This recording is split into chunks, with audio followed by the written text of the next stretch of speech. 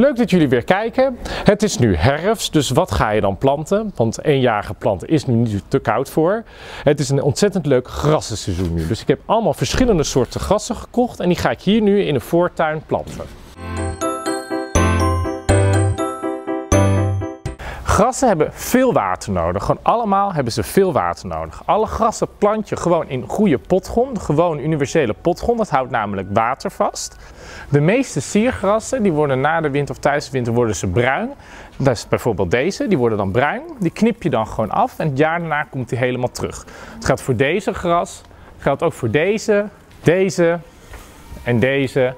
Bijna allemaal die worden bruin en dat zie je vanzelf wel. Dan knip je hem af, komt dit jaar daarna terug.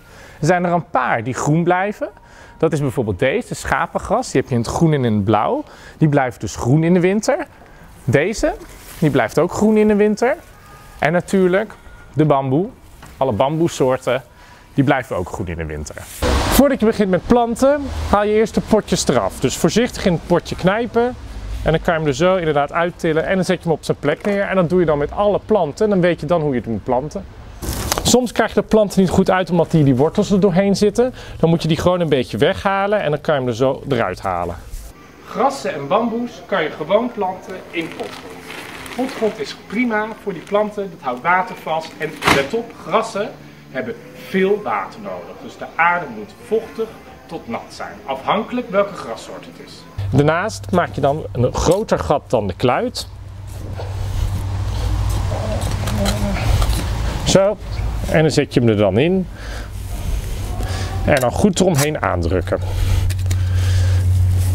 De kluit is ongeveer 20 centimeter, dus je moet een groter gat maken. Want je moet hem niet zo planten. Nu zit hij te hoog. Hij moet lager zijn dan de rand. Want als je hem te hoog plant, dus als je hem zo plant, dan stroomt het water van de kluit af. En nu stroomt het water als het regent naar de kluit toe. Het is gelukt, staat allemaal in de grond. De amaryllis heb ik er tussendoor gezet, worden mooie bloemen. En de diverse grassen staan er tussendoor. Siergrassen en bamboes, die vallen bij ons in dezelfde categorie.